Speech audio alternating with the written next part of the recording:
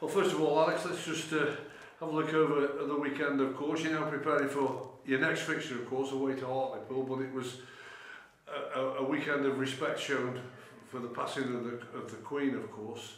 Just as the football manager, do you think football missed out a trick in the way that they should, could have shown the respect, or do you think it was the right decision to call the games off? I can see both sides of the discussion, obviously. Football could have paid a tribute by the games continuing, obviously, with a mark of respect with black armbands and minutes applause and minutes of silences.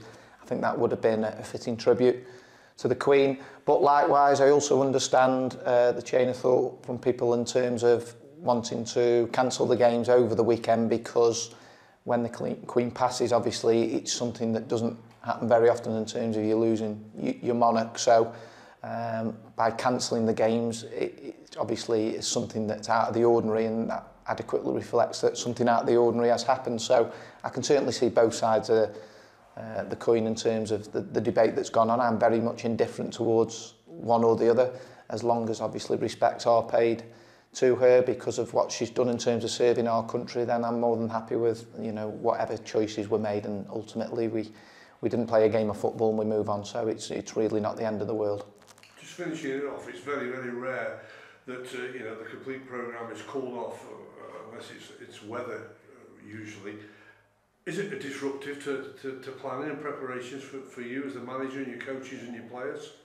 Um, is probably not the word, Graham. It, it just obviously throws you off kilt because you're used to your routines on a Friday building into a Saturday. I actually had the, the news with a call from the chairman uh, midway through standing in the middle of the pitch doing some team play linking into the game so I had to take the call in the middle of the pitch.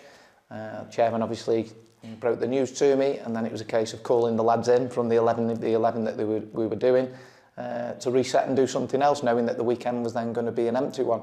Um, but it, in this case it's certainly the same for every club isn't it? So um, not disruptive just something different and you have to obviously prepare for every eventuality. And we knew going into training on Friday that there was a possibility that call was going to come at any point during the morning so we were always ready obviously for what was coming next. So with a full week out on the training ground and an extra day or so as well to prepare, what's your up to date on, on, on the injury players like Kelvin Mellor, Lachlan Brook and Rio Adebisi? Where are you with those first of all? Yeah, Rio's going to be involved tomorrow night. Uh, he's due to get some minutes in the under-23 game today, but um, there's just a little bit of a niggle he has there that isn't anything serious at all, but we don't want to disrupt that and obviously potentially flare up something that that uh, could occur as a result of playing today. So he's going to be um, saved until tomorrow, if you like, so that we've got an option from the bench with Rio. Uh, Lachlan Brook's coming along really quickly. Again, he'll be introduced into training the back end of this week um, with a view to, if not being on the bench against Crawley, certainly getting some minutes against Leeds in the um, Football League Trophy. Uh, not so good news from uh, the Chris Long perspective. He's had another setback with the same ankle. He's got multiple um, grade 1 and grade 2 tears on that ankle, so he's going to be out for the foreseeable future, um, five, six weeks probably. Um, so again, you know, Chris Long's had such a frustrating time. We've not seen him at all this season. We've not lost him with this news because we've never had him.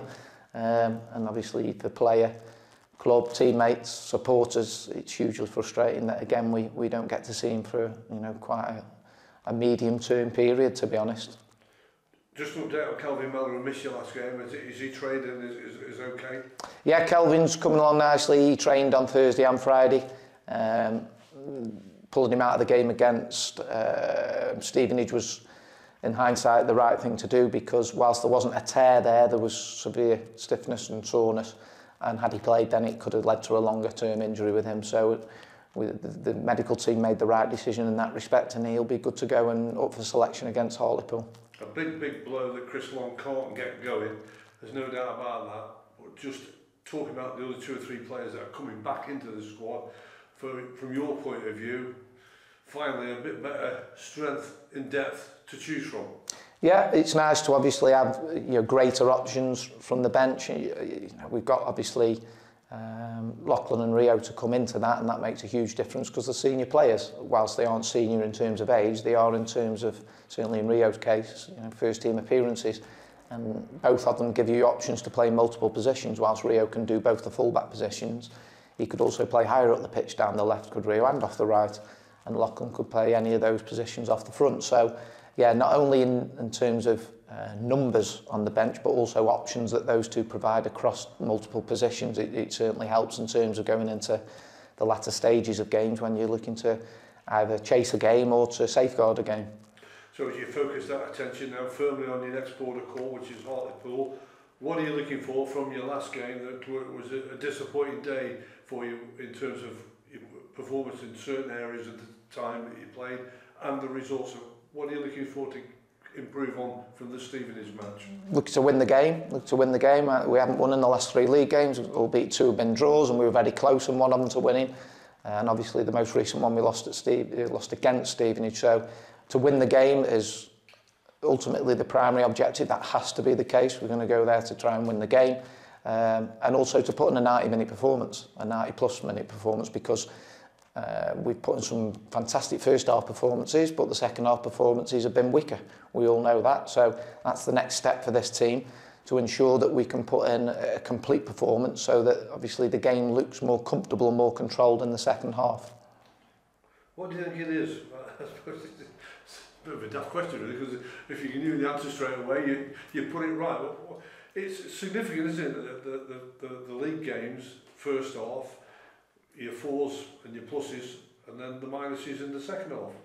Has it got a bit of a mental thing now? That's it, well, it becomes more of a mental thing the more you ask questions about it, Graham, doesn't it, as well? I agree. I thought that as well, but I have to ask it. Yeah, but no, joking aside, you have to ask those questions because it's quite obvious, isn't it, that we're very, very strong in first halves and uh, not so strong in second halves. And I think it's multiple things. It's definitely a mentality thing that the more often it happens, the more it becomes obviously a topic of conversation, which the players are aware of.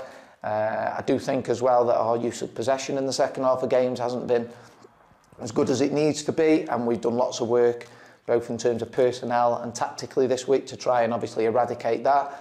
And also with the fact that we spoke about already, squad depth, you, you can't make as many changes as perhaps you'd like uh, towards the back end of games, which does have a huge effect. You know, teams are making five substitutions against us regularly for it at the very least, and we haven't done that.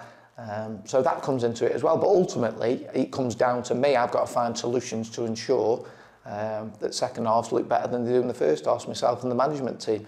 And if we don't do quickly, then I've got to look to, you know, come up with plan Bs and plan Cs to make that happen. But over the course of this week, we feel that we've come up with lots of solutions to ensure that, you know, those sort of issues don't keep on recurring.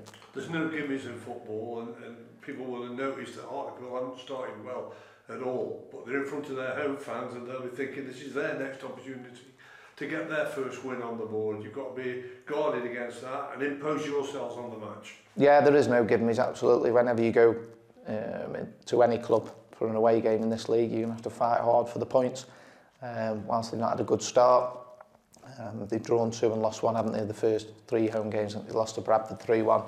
Um, that's just going to make them more determined to, to ensure that they do get off the mark and we've got to guard against that. You don't get anything in football without working hard and whilst on the face of it we're coming up against a team that's only got three points on the board. We still know that it'll be a very difficult game, um, but we're going there with the expectation to win the game. We have to be because if we have any aspirations of being where we want to be this season, um, we have to go to any team not just Hartlepool, but any team with the, uh, the aspirations to win that game, and that's certainly what we'll do going into tomorrow night.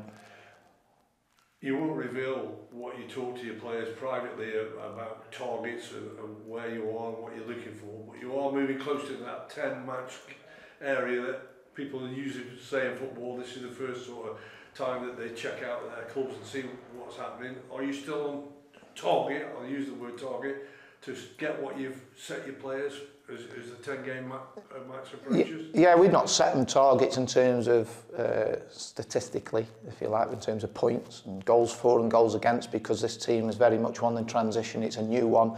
It's a team that's been put together off the back, as, as we all know, of something that wasn't particularly enjoyable last year with what everyone experienced. So the targets going into the first 10 games was to fulfil the potential and, and each player to, you know, meet their own standards, if you like, and then results look after themselves.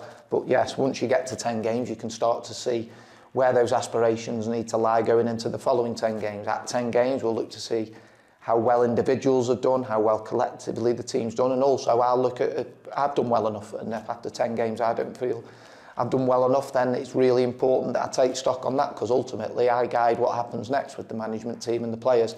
I'm probably more critical of myself than I am of the players, and so 10 games in it allows us to have a review of everything and, uh, and see where we're at. But obviously, aspirations and objectives change for supporters, players, and coaching staff as the season goes on, doesn't it? Whilst you want to be at a certain place at the start of the season, once 46 games are up, those expectations can change according to where you are in the table after 10, 15, 25 games.